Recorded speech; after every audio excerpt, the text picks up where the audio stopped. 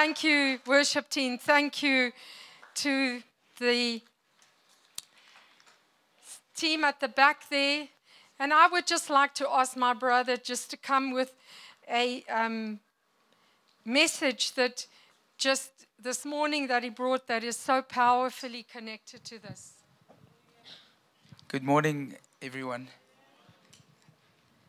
Um, I just uh, feel that I want to flow with uh, what the Holy Spirit is doing this morning. And so, just to add on to what Pastor Deline has already said, um, I want to take you to a story in the Old Testament coming from 2 Samuel, talking about David's mighty men. And something that I just feel at this time that we are in, where we're not just being tested individually, but we are certainly being tested corporately as well. Because, my brother and sister, the body of Christ functions through the power of the Holy Spirit. And critically, critically, with that comes the unity of the brethren. And so when Satan comes to kill and destroy, he also comes to divide. And so, my brother and sister, this morning we have to fashion our, our, our, ourselves in the likeness of what Christ says about us. We have to determine in our hearts what it is that we believe in this time that we're in. Because if we do not understand what Christ is in us, and if we do not understand what Christ has called us to, and if we do not fashion ourselves according to that, we will be destroyed. And bit by bit, one by one, Satan will come to disrupt and take away the unity, and he does it by individually attacking you. So, this morning, the word I want to bring and the encouragement I want to bring to you comes from. Uh, from David's mighty men. And specifically, I want to speak about two of them. The first one is Eleazar, who himself decided to stand when the rest of Israel fled. And my brother and sister, this morning, when we look at his story, he took up the sword, which is the word of God. He took up the sword and he attacked the Philistines that were encamped um, around the armies of Israel. And through the power of the Holy Spirit, he slaughtered them single handedly. But my brother and sister, there, there was something that, that Eleazar took up that day. The first thing is there was no fear.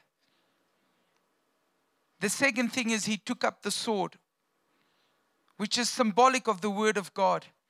It's say, it's, they said when he had finished, when he had finished, his hand was so tired he could not lift that sword, but neither could they free his hand from the hilt, from the handle of the sword. The word of God says it was cleaved into the sword. It means that as they took his fingers away from that, from that sword, as they took his. Are you hearing me? As they as they tried to free his hand from that sword, finger by finger, it tore away, it bled. It was so cleaved to that handle. My brother and sister, how cleaved is your heart to the Word of God? How cleaved is are you in your heart to the Word of God? Because this is the encouragement I want to bring you this morning. The same, the same story is, tell, is told of Sham, Sham, Shammah. He stood alone in a field of lentils while the whole of Israel fled. The Philistines attacked him, and he stood in that field. And the power of the Holy Spirit came upon him and he slaughtered 800, 1,000. The word of God is not absolutely clear on that, but it says that a troop of Philistines attacked him, a whole troop, and he stood his ground. My brother and sister, in this hour, in this hour, it is you that God is talking to. It is you. It is you, my brother and sister, because you, you are the body of Christ. You are the living stones. You are the house, the body of Christ, the church that the gates of hell will not stand against. That is your calling. That is your destiny. That is your identity in Christ. And so, 2 Timothy 1, verse 7 says, For God has not given you, my sister, a spirit of fear, but of love and of power and of a sound mind. And so, my brother and sister, we see something significant that we have and hold. There is something significant and deeply rooted in you, something so powerful. But the one thing that can paralyze it, the one thing that can steal everything away from you is fear. And God says in His Word, My brother, my sister, my beloved, I, the Lord your God, has not given you a spirit of fear, but I have given you something to conquer fear. I have given you something to paralyze fear. I have given you love. And my brother and sister, this is our weapon. That is your weapon, my sister, love. Is there fear in your life? Then I would ask you this this morning Have you stopped loving? Have you stopped caring? Where is your heart? Or, or is the Word of God something that your heart is cleaved to? My brother and sister, how dear do you hold the Word of God? How is your heart cleaved to the Word of God? That is, that is, I believe, what God is challenging each and every one of us because each and every one of us make up the body of Christ. And my brother and sister, it is the unity that we have in the Spirit the, that makes the ecclesia. It is the unity that we hold in the Spirit that brings the ecclesia the anointing, the power of God. There is no power without sacrifice. There is no power without sacrifice. Christ is the example of that. For he endured all things on his way to the cross betrayal, falsely accused by those he loved, by those he served, falsely accused, betrayed, called a liar, neglected, forsaken, left alone. Instead, they chose a murderer. The people that he served, the people that he loved, the people that he healed, on the way to the cross, he suffered and endured all things punishment beyond anything we could ever imagine at the hands of the Romans. They were known, they were notorious for their methods of torture. To endure the cross is the worst torture anyone can endure. It starts by suffocation, it leads to dehydration. It is the worst suffering that can possibly, anyone could possibly go through. The Romans knew that. They were masters at torture. Not only did Christ suffer the heartache of betrayal, not only did he suffer the punishment by the lashing and the whip of the Roman cat of nine tails, but he endured the cross. My brother and sister, this morning, God is calling us to pick up your cross, my sister. Pick up your cross and endure all things. Whatever, whatever it is, you have to endure. Whatever it is that you are facing, whatever challenge it may be, whether it is sickness, whether it is financial, whether you are depressed, whether you have no outcome, whether you are lonely, whether you are old, whether you are fearful or not, God is saying to you this morning, pick up your cross. Church, pick up your cross. Because when we pick up our cross, we come to the door that opens God's power. God's power is released at that place, at that place where we sacrifice. God is calling us to a sacrifice beyond what we can imagine. He's calling the church to sacrifice itself. My brother and sister, how about starting to sacrifice yourselves for each other? So that the love that Ephesians talks about, where he says, eventually, when we are all knitted together, sinew to sinew, bone to bone, flesh to flesh, muscle to muscle, we start building up ourselves in our most holy faith and in love. My brother and sister, in this time we are in, God is calling for His church to stand up in love so that we can overcome fear.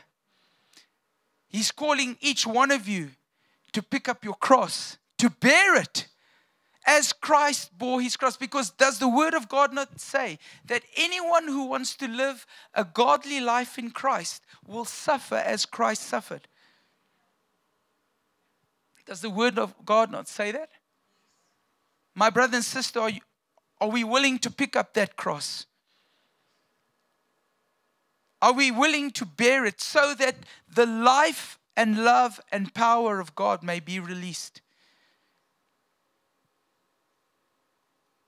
My brother and sister, picking up your cross, bearing it, not for yourself, but for those around you, as Christ did. Not for himself, not for his own glory, but for the glory of the Father for the church that he knew would be sitting here today. He bore it all for us. So, when there's fear, you have a weapon, a weapon so powerful. You have love. There's no other way of conquering fear in your life. There's no other way of overcoming fear in your life except through love. You cannot overcome fear by becoming violent. You cannot overcome fear by, by any other method than allowing love to come forth from your heart. For God has not given you a spirit of fear, but of love. And when love, when you make the sacrifice of love, power comes forth, as it did with Christ. Because was it not at that moment that he gave himself on the cross, that redemption was released. Was it not at that very point of sacrifice that the power of God shook the earth? Was it not at that very point of sacrifice that the door was opened and he, is, he descended into the very pit of hell and he made war and such was the power and the magnitude of that love that it shook the very foundations of hell.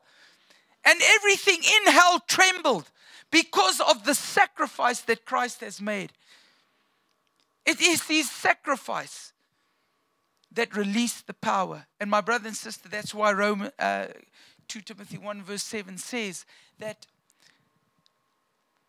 God has not given us a spirit of love, but of power when you release love, when you choose to love, when you choose to forgive, when you choose not to gossip, when you choose not to envy, when you choose, when you choose to speak forth the righteousness of God, when you choose to live and fashion your life according to the word of God, when you make that sacrifice, there is power.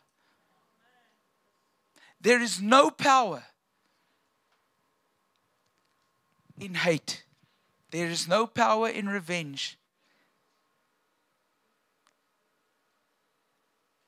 And so, when there's power, we see something else coming into being, and that is a sound mind. For God has not given you a spirit of fear, but of love and power and a sound mind.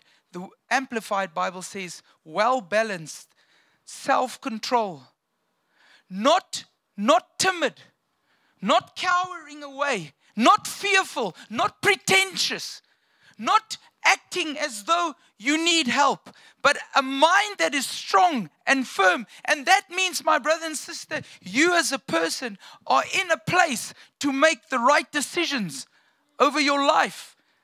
You are in a place of a, having a sound mind. It is not driven by fear, it is not polluted, corrupted, tainted by fear, but it is powerful. And you can make the right decisions. You are in the place of making the right decisions for your life, for your family, for your children, for yourself. And that means then you are not open to the works of Satan, to the voice of Satan. You are no longer a target for him. You now have a sword in your hand. You are now Shammah Eleazar. And if you have to stand alone, my sister, my brother, we stand alone. For God is our strength, He is our right hand. And if you cleave your heart to the Word of God, as the hand of uh, Eleazar was on the hilt of his sword, if you cleave your heart to that sword, to the Word of God, and you have love in your heart, then, my brother and sister, you are in that place where the power of God can begin to flow through you, as it did through Eleazar, as it did through Shammah, as it did to many, many thousands of saints since that time. But, my brother and sister, there's a sacrifice. If you want to live a godly life in Christ, you will suffer as he, suffered. Unless a man picks up his cross, the word of God says, unless a man picks up his cross and follows me, he cannot be my disciple. So, this is the encouragement I bring to you. This is this is what I believe in my heart as Pastor Deline, as Pastor Chris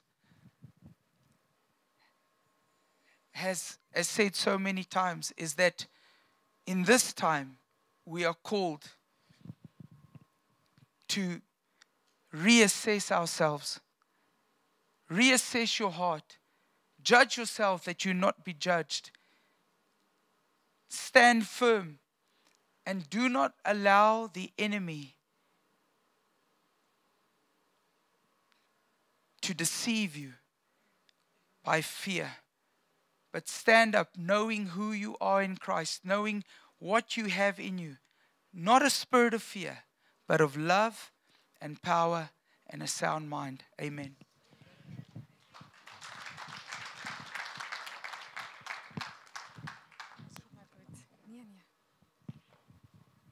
Yeah, just thank you to my brother for sharing that word because I just knew this morning when he shared that God said to me, There's going to be a word coming forth that is so powerful. It's going to be like a spearhead in the time that we are living in.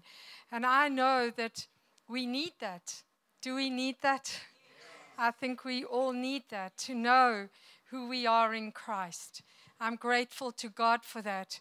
I just um, want to pray, Father God, that we take this word and that we make it our own, that we allow it to take root, to shape us, to form us, to form our decisions.